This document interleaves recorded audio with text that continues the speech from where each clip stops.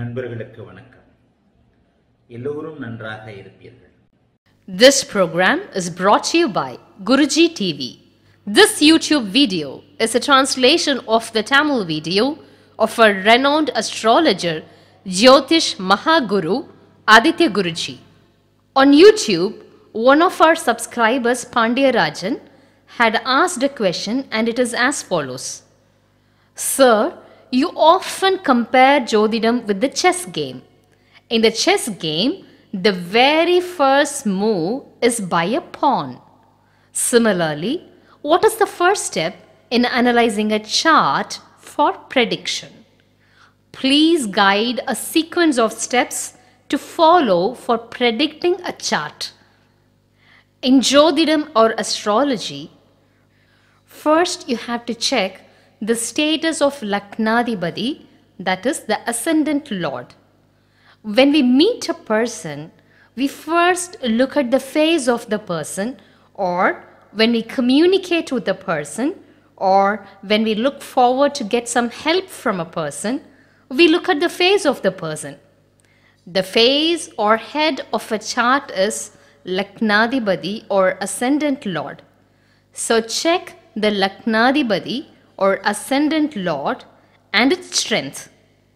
For example, if you are Dhanusu Lagna, that is Sagittarius ascendant, please check in which house Jupiter resides at. If it is Miduna Lagna, that is Gemini ascendant, check the status of the Lagna or ascendant and Lagnadibadi, that is ascendant lord. Check if the ascendant lord is natural benefic and also check its Subattuva strength. What is Subattuva strength?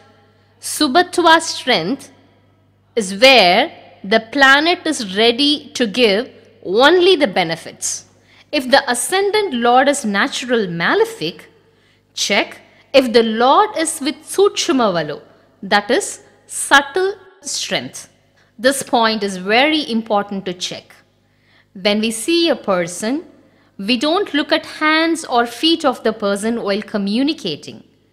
In a similar fashion, when you want to predict a chart, your eye should seek the first house of the chart that is ascendant, Laknadibadi, and their status. The second step is to check how Lagna or ascendant is. Check if there are any malefic planets in the first house or any malefic planets aspecting the first house or any benefic planets aspect the first house. Please take a minute to learn about Lakna and Laknadibadi, that is ascendant and ascendant lord.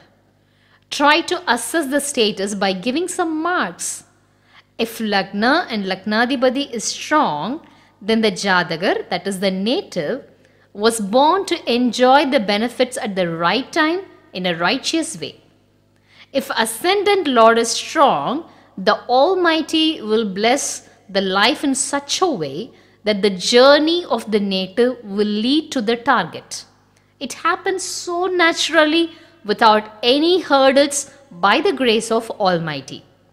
In other words, when the Lagna or the first house is strong and Lagnadibadi, that is ascendant Lord, has Subattuva, we already mentioned that Subatwa is a state where the planet gives only the benefits. The native will enjoy luxuries. The native would have been born in a family of high status. The third step is to check the dasa and bhukti. The dasa and the bhukti narrates the incidents that happened or happening in the life of the native. While you check the dasa and bhukti, you have to check the status of the bhavagam, that is the houses. So far, you have concluded the status of the first house and ascendant lord if they are stronger or weaker. Then check the status of the dasa and bhukti.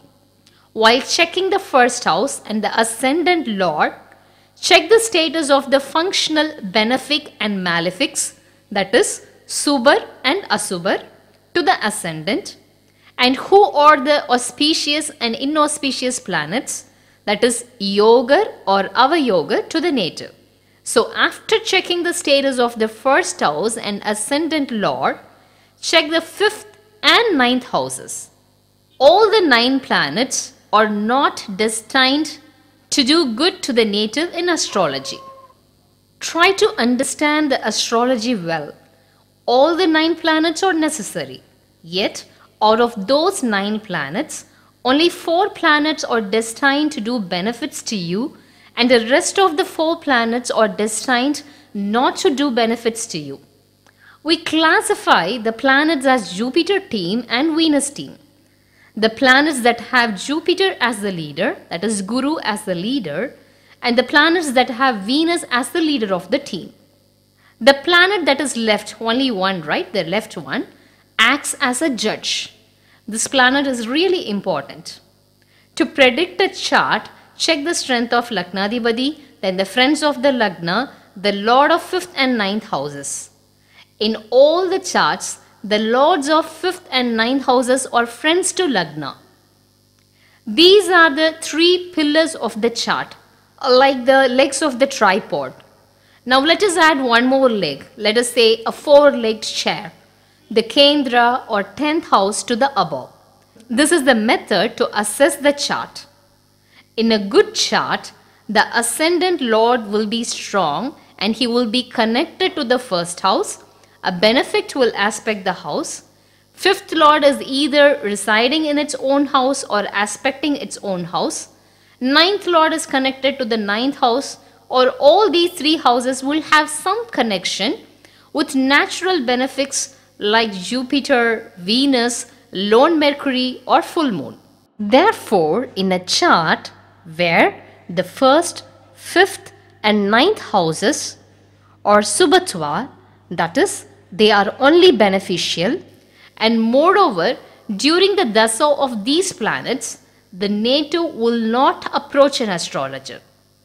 Astrologers are approached when a common man feels that he is helpless in a crucial situation and there is a power existing beyond the human dimension.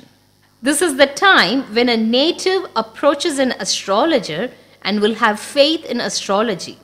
When negative events happens, a person will believe astrology and will tend to do some research in astrology.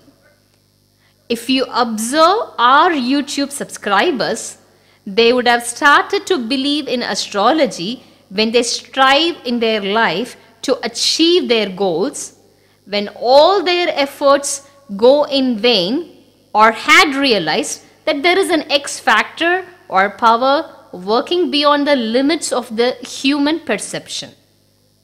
At this point of time, some aspects of astrology might be convincing to a person, consequently letting them to research or learn astrology.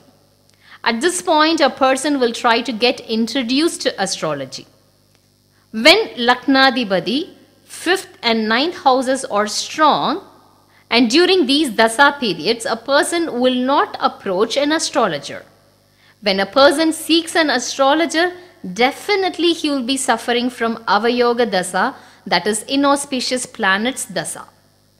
For example, if Lagna is Jupiter, the planets like Jupiter, Sun, Moon, and Mars will do benefits to a certain extent.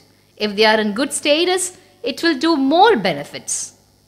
For example, Jupiter ascendants like Pisces and Sagittarius, Mars houses like Aries and Scorpio, Moon and Sun's houses such as Cancer and Leo. Those who are born as these ascendants, the planets like Sun, Moon, Mars, Jupiter, in addition Ketu will do benefits. Even if these planets are not in good condition, the adverse effects are less. In the similar fashion, for Venus team, Venus houses such as Taurus and Libra, Mercury's houses such as Gemini and Virgo, Saturn's houses like Capricorn and Aquarius. For these ascendants, planets like Venus, Saturn and Mercury will do benefits. In addition to this, we can add Rahu. In any situation, these planets will do benefits to these ascendants. For Jupiter team ascendants, If Venus team planet Dasa is happening, it would do worse. For example, for Sagittarius and Pisces ascendants, if Venus Dasa is happening, the planet will not give improvement in life. There are some more important steps to note while predicting a chart and that follows in part 2 of this video. Thanks for watching the video.